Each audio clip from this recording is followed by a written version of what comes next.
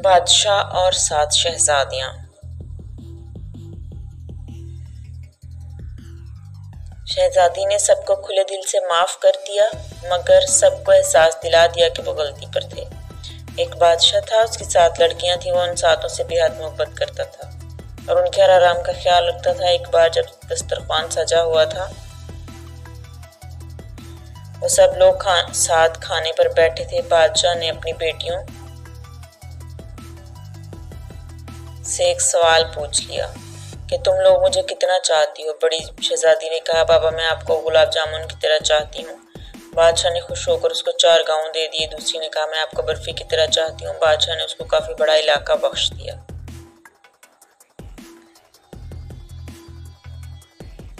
तीसरी लड़की ने कहा, मैं आपको अमृति की तरह चाहती हूँ।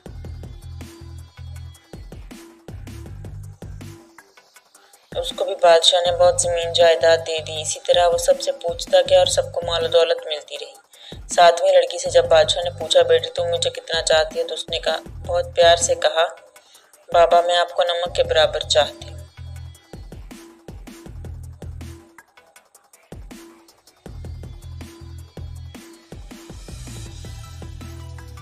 ये सुनकर बादशाह को जलाल आ गया। कहने लगा, सब मुझे इतना चाहते हैं, तुम नमक के बराबर बहुत नाराज़ हुआ और छोटी बेटी को महल से निकाल दिया और कहा, अब यहाँ कभी कदम न रखना। वो जंगल की तरफ़ चली गई और पत्तों और लकड़ियों को मिलाकर एक झोंपड़ी बनाकर वहाँ रहने लगी।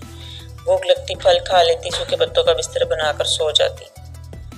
एक दिन जब वो सोकर उठी तो देखा रंग बिरंगी चिड़ियों के पर बिखरे पड़े थे। उसने इन परों से पंखिया बना ली।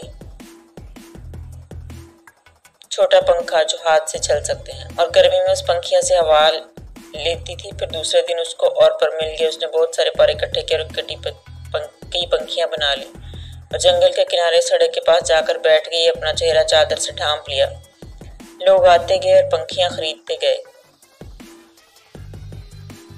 इतनी खूबसूरत पंखियाँ उन्होंने कभी नहीं देखी थी। अब तो भीड़ सी लग, लग, लगी रहती। एक बार शहजादे का उधर से गुजर हुआ उसने इतने खूबसूरत पंखे कभी नहीं देखे थे। सारे खरीद लिए फिर शहजादी से पूछा तुम कौन हो? उसने कोई जवाब नहीं दिया, उसके खूबसूरत हाथ बता रहे थे कि उसने कभी काम नहीं किया पंखियाँ बनाने में। उसकी उंगलियाँ जख्मी थी।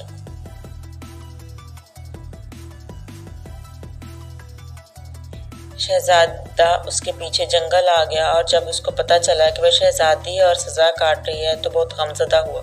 वो अपनी सल्तनत पर वापस गया और वालदेन से सारा माजरा कह सुनाया। उन लोगों को भी दुख हुआ। वो अपनी बेटी की बारात जंगल लेकर आ गए और दोनों की शादी होगी, मगर शहजादी अपने वालद को बहुत याद करती थी। वो खुश नहीं रहती थी। एक दिन उसने शहजादे से कहा, कि वो अपने वालदेन की दावत करना चाहती है और उनसे मिलना चाहती है। शहजादे ने ज़बरदस्त दावत का इंतज़ाम किया और बादशाह को दावत दी। शहजादी ने कहा, सारा इंतज़ाम आप देखिए, मगर अपने वालदेन और बहनों के लिए खाना मैं खुद तैयार करूँगी। सारे मेहमान आ गए कई दस्तरखान एक साथ लग गए और बादशाह शहजादियों के लिए अंदर इंतज़ाम किया गया।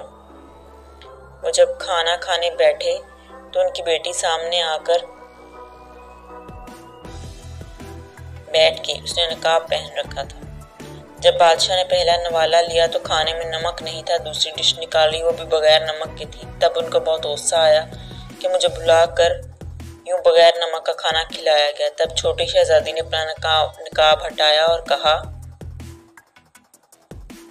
बाबा, मैं आपको नमक के बराबर चाहती हूँ। यही कहा था। मैंने नमक के बराबर, नमक के बगैर किसी चीज़ में लज्जत नहीं होती। बादशाह चौंक उठा, फिर उसने आगे बढ़कर बेटी को गले लगा लिया और उसकी आँखें भर आईं।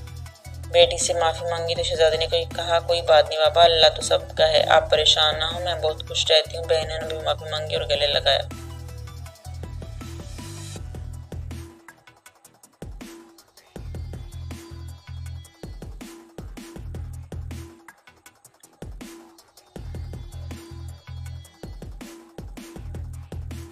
मॉरल ऑफ़ द स्टोरी अब शहजादी ने सबको खुले दिल से माफ़ कर दिया, मगर उन सबको एहसास दिला दिया कि वो गलती